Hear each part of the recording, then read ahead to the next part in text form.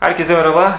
Casper Via V6'nın kutu açılışını daha önce gerçekleştirmiştik. Şimdi test merkezimizde Casper Via V6X var. Casper Via V6'nın daha büyük ekranlı modeli. Aynı teknik özellikler var sadece ekran boyutu bakımından Casper Via V6X biraz daha avantajlı. Telefonun teknik özelliklerinden bahsederken bir yandan da kutu açılışını gerçekleştirelim. Casper Via V6X'te 5.5 inç IPS ekran bulunuyor. Bu IPS ekranın 1280x720 piksel çözünürlük desteğine sahip olduğunu belirtelim. Bunun dışında telefonda Qualcomm Snapdragon 410 işlemci bulunuyor. 16 GB dahili hafıza var. Bunun yanı sıra 2 GB RAM mevcut. 64 GB'a kadar destekli microSD kart yuvası sayesinde telefonun depolama alanını arttırmak mümkün oluyor. Arkada 13 megapiksel kamera mevcut. Önde de 5 megapiksel kamera var. Aynı zamanda Casper Via V6X 1080p Full HD video kayıt da yapabiliyor. Jelatini çıkardık. Şimdi de kenardaki Casper etiketini de çıkartalım ve daha sonra da açılışımızı gerçekleştirelim. Gördüğünüz gibi Casper Via V6 karşımızda. ince bir telefon.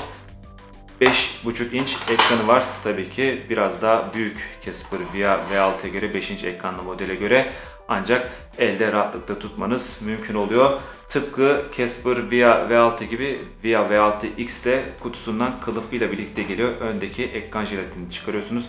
Arkada da görmüş olduğunuz gibi koruyucu kılıfı yer alıyor. Şöyle kenara ayıralım. Bir tane de ekran jelatini var görmüş olduğunuz gibi. Beziyle ekranı temizleyip daha sonra bu jelatini, koruyucu jelatini yapıştırabilir ve ekranı çizilmelere karşı koruyabilirsiniz. Ancak Gorilla Glass 3 ekran camı var. Zaten kendine ekran baya bir e, korumaya sahip çizilmelere ve aşınmalara karşı. Kulaklık, kulak yolunu tamamen kapatan topuzlu kulaklık ve farklı kulak boyları için e, sunulmuş olan topuzlar mevcut. USB kablosu seyahat şarj adaptörü ve e, çeşitli e, belgeler. Onlar da kutu içerisinde geliyor. Garanti kılavuzu ve gördüğünüz e, pil Casper Via V6'nın 2820 mAh kapasiteli pili. O da kutudan çıkıyor. Şimdi Casper Via V6'ya görmüş olduğunuz ince pili takalım ve daha sonra da telefonda ilk açılışı beraber gerçekleştirelim. Evet kutudan çıkanları yerine yerleştirdik. E, pili taktık. Şimdi e, Casper Via V6'yı açalım ve gezinmeye başlayalım. Casper Via V6X açılırken bir yandan da telefonun tasarımına bir göz atalım. İnce bir telefon görmüş olduğunuz gibi ince bir profili sahip. Böylelikle büyük ekran olmasına rağmen rahatlıkla elinizde tutmanız mümkün oluyor. Cepte de rahatlıkla taşınacaktır. Arkada 13 megapiksel kamera var. Kameranın önünde de bir tane koruyucu jelatin var. Kullanmaya başlamadan önce bunu çıkarmanızı hatırlatırız. Flash, 3.5 mm kulaklık jackı, micro USB portu, hoparlör. Sol kenarda herhangi bir giriş çıkış buton görmüyoruz.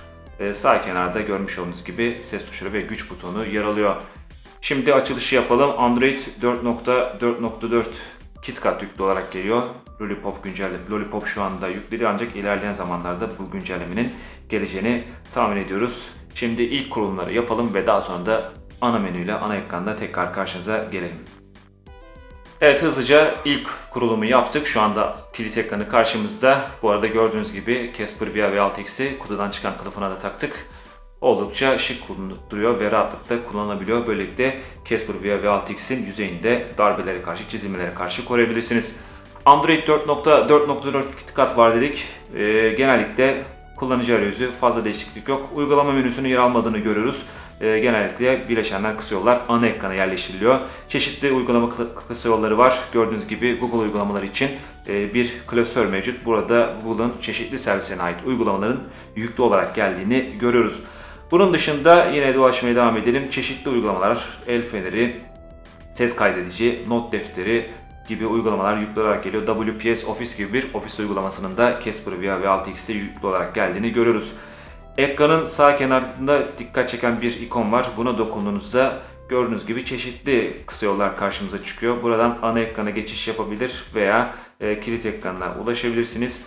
E, bu aslında biraz telefonun büyük boyutlu oluşunun yaratabileceği bir takım ergonomik sıkıntıları gidermeye amaçlıyor. Telefonu tek elde tutarken parmağınızı alta götürmeniz kolay değil. Bu kenardaki butonu kullanarak istediğiniz işlere kolaylıkla erişebilirsiniz. Ekran görüntüsü alma da bu gördüğünüz kenar çubuğu aracının özellikleri arasında yer alıyor. Bunun dışında çeşitli kısa yollarda sık kullandığınız uygulamaları da bu e, kenar aracına ekleyebilir. Böylelikle onlara çok daha rahat şekilde erişebilirsiniz. Casper VR V6X'in genel özellikleri bu şekilde, ilk izlenimlerimiz bu şekilde. Telefonla ilgili detaylı incelemeyi de çok yakında Teknoblog'da bulacağınızı belirtelim. Aynı zamanda Casper VR V6 incelemesi de çok yakında Teknoblog'da olacak. Aktaracaklarımız şimdilik bu kadar. Yeni bir videoda tekrar görüşmek üzere. Hoşçakalın.